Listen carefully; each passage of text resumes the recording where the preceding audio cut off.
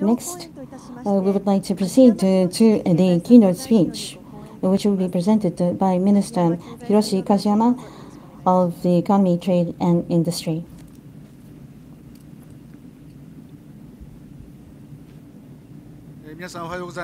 Uh, good morning, everyone. Uh, my name is Hiroshi Kajiyama, Minister of Economy, Trade and Industry.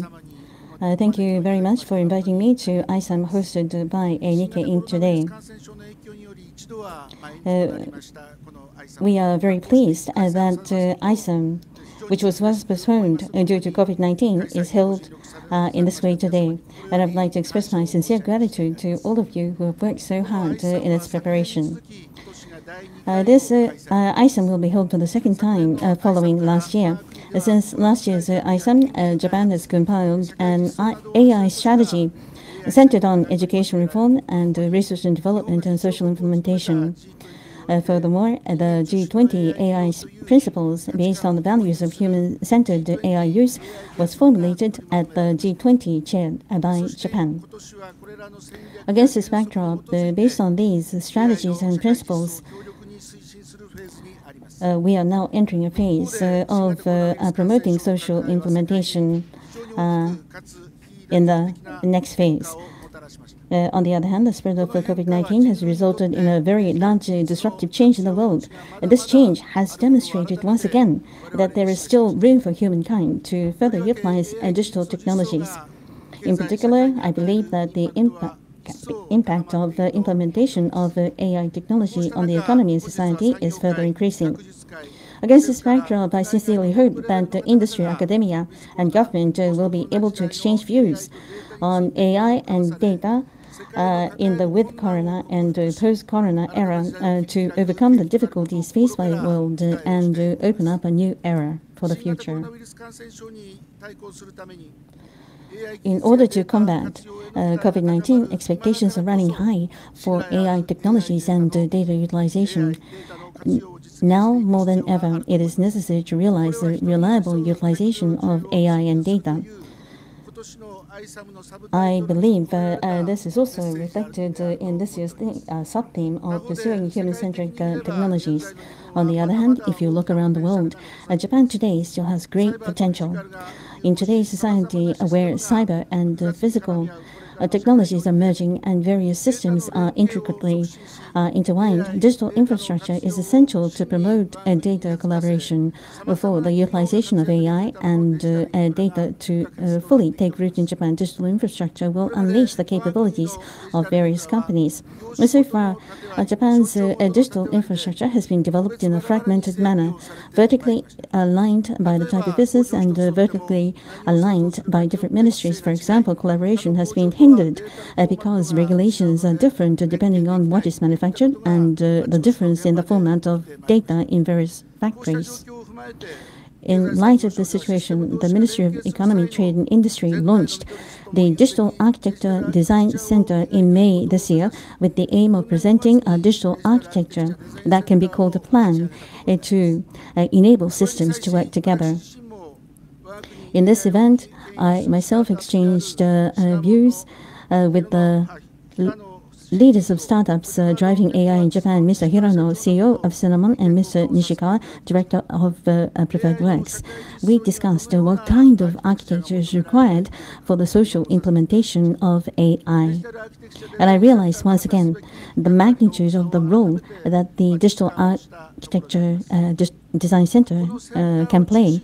I would like to accelerate uh, the development of uh, social systems in the era of AI and data through this center. Uh, in addition to the grand design of digital architecture, it is also very important to accelerate research development by promoting collaboration between AI venture companies with promising technologies and large companies. So far, for example, development of AI systems necessary for uh, predicting uh, plant operating uh, conditions using deep learning. Development of drones and AI for imaging and unmanned inspection of plant equipment. Development of software for optimized inventory and resource placement in distribution centers.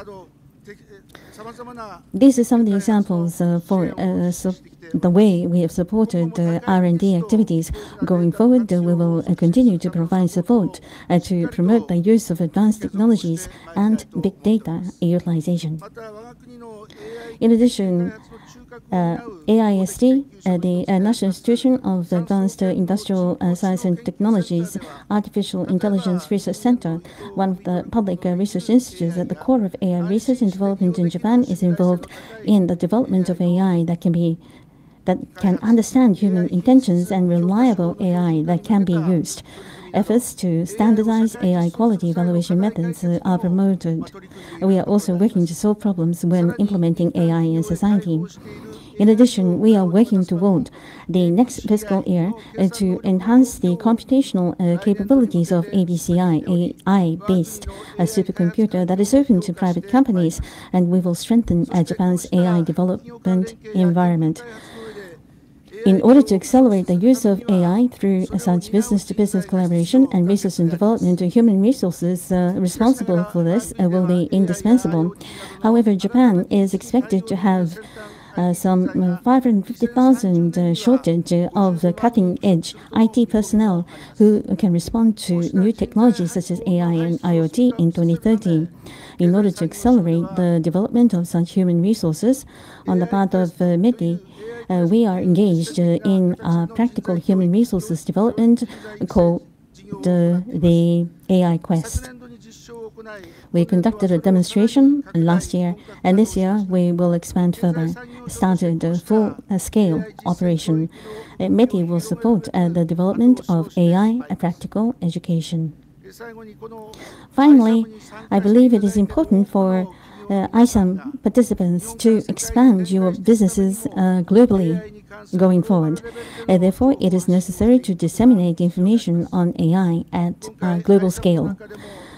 I have heard that there will be related sessions on in AISUM about uh, uh, global partnership on artificial intelligence or GPAI.